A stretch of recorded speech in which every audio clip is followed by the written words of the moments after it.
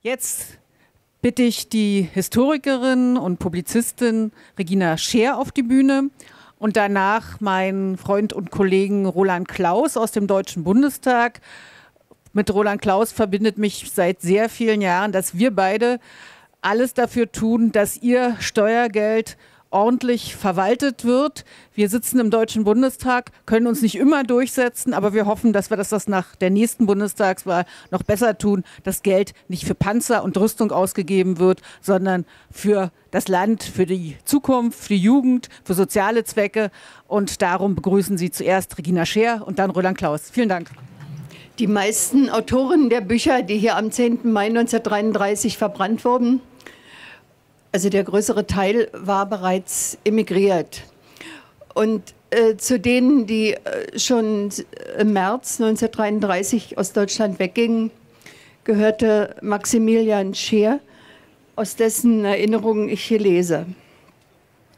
Du sitzt in einer fremden Stadt, fremd, obwohl du sie als Besucher verschiedentlich heimisch fandest, das war völlig anders.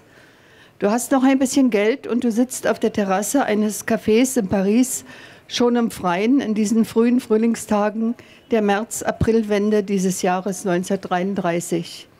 Wie weit und wie nah liegt Deutschland hinter dir? Du bewegst dich noch, als lebtest du in schwerem Traum. Du denkst an die letzten Tage in Berlin. Du spürtest mehr, als du sahst, dass sich die Straßen veränderten. Unvergesslich, unlöschbar in deinem Erinnern ist jener sonnige Vorfrühlingstag, an dem du schlendernd auf dem Gehsteig unter den Linden gingst, die noch die frühere Atmosphäre zu haben schien. Ein wenig Ferien, ein wenig Faulheit, Leichtigkeit, Buntheit, Eleganz. Und plötzlich spürst du Ungewohntes, Beklemmendes, Beängstigendes. Was ist es, fragst du dich. Es sind Gesichter unter Käppis, die das Bild der Straße bedrücken. Es sind Züge von Rohheit, Brutalität. Der Abschaum spült an die Oberfläche. Dies sind die neuen Herren. Dies ist Deutschlands nächste Zukunft. Rohheit, Grausamkeit, Gemeinheit, Unmenschlichkeit. Du sahst es gleich einer Vision. Von diesem Tage an wusstest du, was vor dir lag, vor deinem Volk, vor deinem Land. Nein, wissen konntest du es nicht, du ahntest es. Wissen von allem künftigen Leid und 50 Millionen Toten eines neuen Krieges hätte wahrscheinlich jeden Wissenden erschlagen. Aber dir war, als wüsstest du, was kommen würde. Gesichter lügen manchmal, jene logen nicht. Sie waren nackt, grauenhaft nackt. Ich wohnte Anfang 33 an der Spandauer Chaussee in Charlottenburg im Zimmer einer Chauffeurwohnung, aufgestockt auf die Garage einer Villa, Tür gegen Tür, mit Ernst Wildangel, dem damaligen Studienrat an der Neuköllner Karl-Marx-Schule und nach 1945 dem ersten Stadtschulrat von Groß-Berlin. Kollegen an der Schule entpuppten sich als Nazis und bedrohten ihn. Die Polizei kam und durchsuchte, was er besaß. Der Durchsuchung gewärtig hatte er in die Schublade seines Schreibtisches oben auf das ihm im Weltkrieg verliehene Eiserne Kreuz gelegt. Die beiden Polizisten ließen sich anscheinend einreden, der Durchsuchungsbefehl könne einem Missverständnis zuzuschreiben sein. Es wurde so viel durchsucht. Aber wann würden sie wiederkommen? Oder wann würden andere kommen? Morgen? Nächste Woche? Bei mir pochte es am nächsten Tag um 6 Uhr früh. Ich wachte auf, öffnete ein Polizist. Er sagte fragend meinen Namen. Ja, sagte ich. Darauf er, ziehen Sie sich an, kommen Sie mit. Es stellte sich heraus, der Grund war völlig harmlos. Ich hatte eine kleine Strafe der Verkehrspolizei nicht bezahlt und sollte sitzen. Der Polizist ließ mit sich reden. Aber wenn Sie heute nicht zum Revier kommen und bezahlen, hole ich Sie. Als er fort war, lachte ich. Aber die Schrecksekunde war tief und blieb. Ziehen Sie sich an und kommen Sie mit. Die Nazis hatten mich verschiedentlich angegriffen, beschimpft. Ich hatte öffentlich gesprochen, einmal in den Kölner Messehallen zusammen mit Erwin Pescator.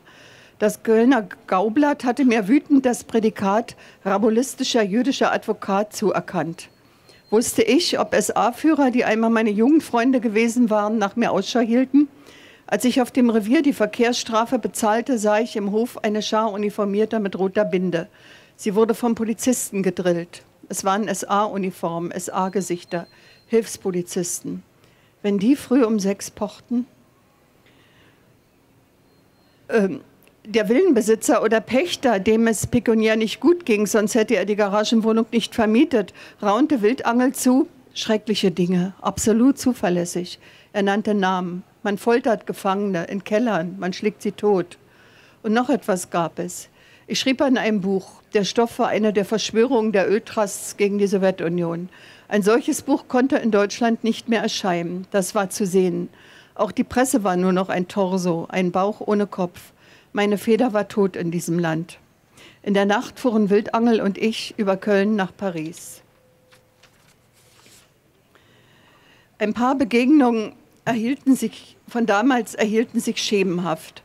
Kurt Weil war kein Aufsässiger, aber schon außer Landes. Seine Musik zur Drei-Groschen-Oper hatten die nun Herrschenden seit langem bespien.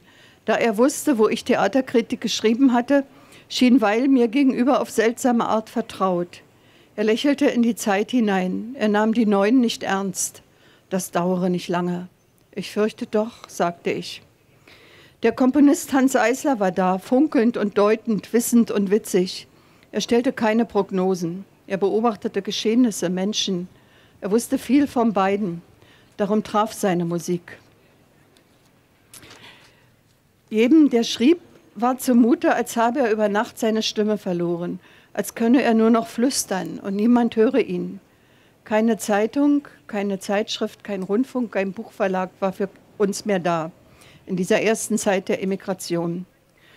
Rudolf Leonhardt traf mit uns zusammen. Es war besonders wichtig, weil er schon mehrere Jahre in Paris lebte. Er kam bald zu seinen deutschen Kollegen, wurde ihr Landesmentor, ihr Berater, Helfer, Lenker und der Initiator bei der Gründung des Schutzverbandes deutscher Schriftsteller im Exil. Die Kinder von Issieu von Reinhard May. Sie waren voller Neugier, sie waren voller Leben. Die Kinder und sie waren 44 an der Zahl. Sie waren genau wie ihr, Sie waren wie alle Kinder eben, im Haus in Isieux, hoch überm Rhonetal. Auf der Flucht vor den Deutschen zusammengetrieben und hinter jedem Namen steht bitteres Leid.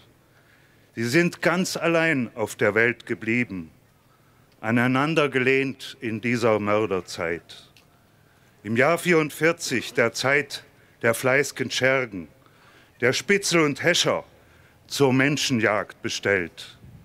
Hier wird sie keiner finden, hier oben in den Bergen. Die Kinder von Isieux, hier am Ende der Welt. Josef, der kann malen, Landschaften mit Pferden.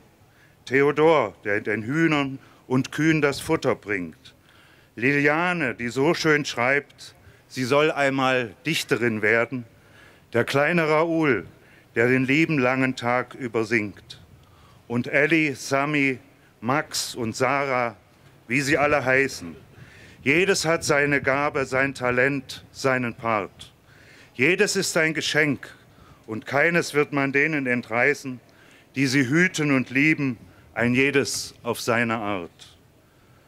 Doch es schwebt über jedem Spiel längst eine böse Ahnung – die Angst vor Entdeckung über jeden neuen Tag. Hinter jedem Lachen klingt schon die dunkle Mahnung, dass jedes Auto, das kommt, das Verhängnis bringen mag. Am Morgen des Gründonnerstags sind sie gekommen, Soldaten in langen Mänteln und Männer in Zivil. Ein Sonnentag. Sie haben alle, alle mitgenommen, auf Lastwagen gestoßen und sie nannten kein Ziel. Manche fingen in ihrer Verzweiflung an zu singen. Manche haben gebetet, wieder andere blieben stumm. Manche haben geweint und alle, alle gingen den gleichen Weg in ihr Martyrium.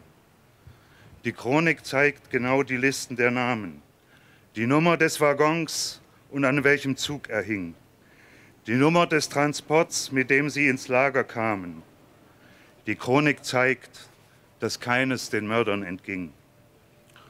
Heute höre ich, wir sollen das in die Geschichte einreihen. Und es muss doch auch mal Schluss sein, endlich nach all den Jahren. Ich rede und singe und wenn es sein muss, werde ich schreien, damit unsere Kinder erfahren, wer sie sind. Der älteste war 17, der jüngste grad vier Jahre. Von der Rampe in Birkenau in die Gaskammern geführt. Ich werde sie mein Leben lang sehen und bewahre, ihre Namen in meine Seele eingraviert. Sie waren voller Neugier, sie waren voller Leben. Die Kinder und sie waren 44 an der Zahl. Sie waren genau wie ihr, wie alle Kinder eben, im Haus von Essieux überm Rhonetal.